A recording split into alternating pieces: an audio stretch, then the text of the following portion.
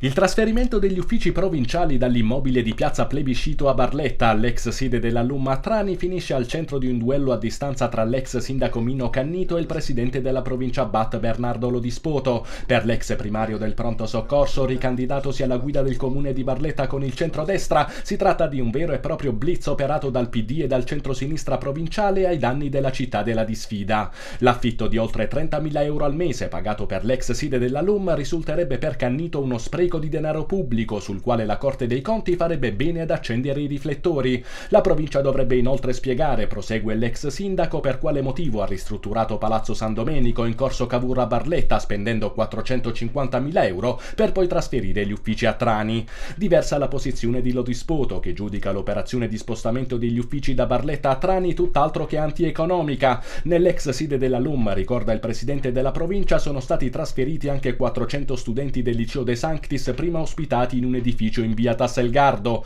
con il risultato che ora non si pagheranno più né il fitto dell'immobile di piazza Plebiscito a Barletta di circa 12.000 euro né la locazione della sede scolastica di via Tasselgardo a Trani pari a 10.000 euro, ma soprattutto si fornisce sia agli studenti che ai dipendenti provinciali una struttura moderna e in eccellenti condizioni, i cui spazi ancora inutilizzati potranno essere messi in futuro a disposizione di altre scuole. Nel Palazzo San Domenico di Barletta conclude lo dispoto per il il quale sono stati spesi 280.000 euro di ristrutturazione, non 450.000, avrà invece sì dell'ufficio scolastico provinciale. Quando abbiamo chiesto al commissario Alecci la disponibilità di altri immobili, il commissario Alecci non ha dato disponibilità di altri immobili e mi sono offerto io come Presidente della provincia nel verificare il percorso del San Domenico. C'è stata una contestualità di circostanze per cui pur che abbiamo investito 280.000 euro, daremo questo immobile incomodato gratuito, grazie anche alla collaborazione eccellente del commissario Alecci,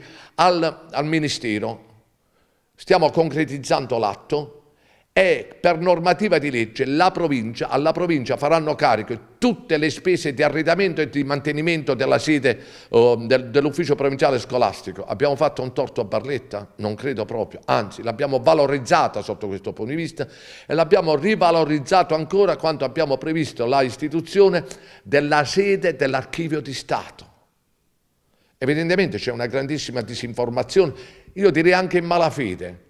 speculando su una campagna elettorale che a me personalmente non interessa. Ma la cosa più importante, un amministratore le bugie le deve finire di dire qualsiasi amministratore, perché quello che serve è la realizzazione delle opere e non le chiacchiere, perché le bugie spaccano solamente, soprattutto se sono finalizzate sul piano personale, a non rendere quell'efficienza, quella trasparenza e soprattutto quel contributo fattivo di cui una istituzione, una comunità, un territorio ha bisogno di realizzare. La sede legale della provincia ribadisce ancora una volta lo disputo tornerà ad Andria una volta terminati i lavori di ristrutturazione degli uffici di Piazza Pio X. I lavori credo che entro giugno verranno ultimati. La sede giuridica, ho fatto anche un comunicato stampa che mi è stato chiesto, ma l'ho detto sempre, la sede rimane Andria. Se ci sarà insufficienza per ricevere eh, tutti gli uffici in maniera logistica adeguata, compreso i concorsi che ci accingiamo a fare, perché a fine mese riapriremo i termini per via della Brunetta e poi ci accingiamo, entro l'anno li facciamo i concorsi, se sarà insufficiente anche a ricevere tutto il personale, parte o gli uffici tecnici, poi determineremo quello che eh, possiamo determinare, altri uffici resteranno nella LUM.